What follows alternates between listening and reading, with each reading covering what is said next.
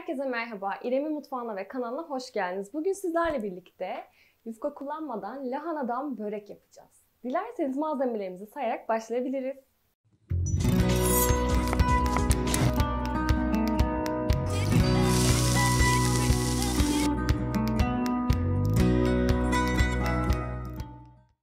Oldukça pratik olan bu tarif için ilk önce iç bir harç hazırlayacağız. Bunun için önceden yıkamış olduğum lahanalarım var. Onları şimdi doğrayacağım.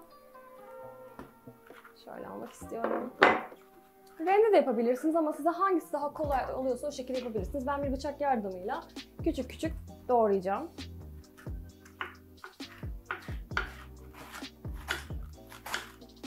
Şöyle uzun ince yapmamız yeterli olacak. Bütün hepsini doğradıktan sonra tuzla güzelce ovacağız. Biraz o sertliğini almak istiyorum.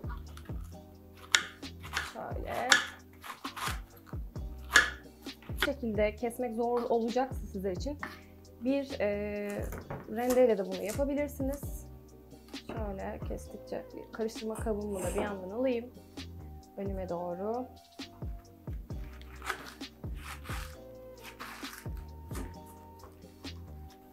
Tam mevsimiyken bence lahana bol bol yiyelim. Maalesef bizim çocuklarımız sebzeyle pek arası yok. Sizler bu şekilde çeşitlendirerek bu tarifleri yaparak çocuklara da yedirebilirsiniz. Hatta lahanayı bu şekilde sevdirebilirsiniz. Lahanalarımı güzelce doğradım. Şimdi üzerine tuz alacağım. Şöyle. Şöyle elimle onları biraz yumuşatmak istiyorum. O sertliğini biraz alacağım bu işlemle birlikte.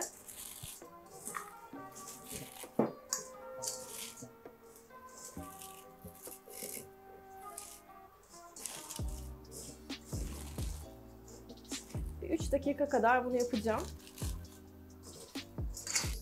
İki tane yumurtam var. Lahanamın üzerine kıracağım. Şöyle bir, iki. Doğramış olduğum kaşar peyniri var. Beyaz peynir var. Yaklaşık 80 gram kadar kullanacağım. Şöyle. Bir kaşık un eklemek istiyorum üzerine.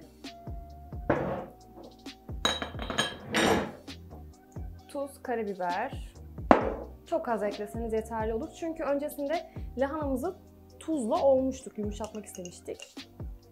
Şöyle bir çay kaşığı kadar pul biberimiz var. Karabiberi de ekledim. Şimdi kaşıkla karıştıracağım. Hatta elimle de karıştırabilirim. Şöyle daha da iyi birbiriyle özleşsin diye. Şöyle.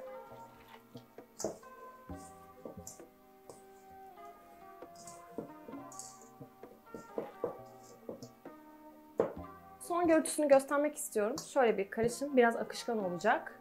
Yağlamış olduğum fırın kabımı fırçayla bütün her tarafını eşit bir şekilde yağlıyorum.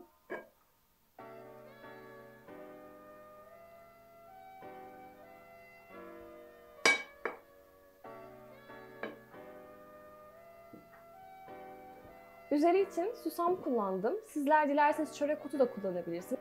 Un bu karışım içinde kullanmak istemiyorsanız tarifimizin daha da sağlıklı kalmasını sağlamak için yulaf kepeği de ekleyebiliriz. Yaklaşık yine 2 kaşık kadar yeterli olacaktır.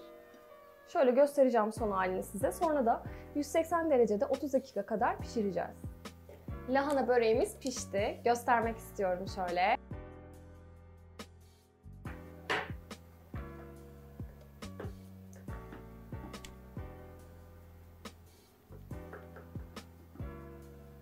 Oldukça lezzetli ve hafif. En önemlisi bence bu. Şöyle yakından alalım.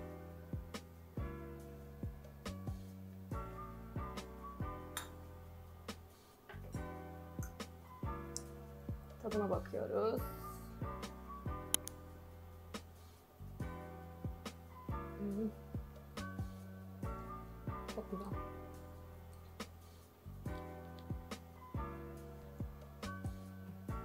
Bugün sizlerle birlikte az efor sarf ederek harika, oldukça da hafif bir tarif yaptık. Bu videoyu beğenip kanalıma abone olmayı unutmayın. Hepinize sevgiler, afiyet olsun.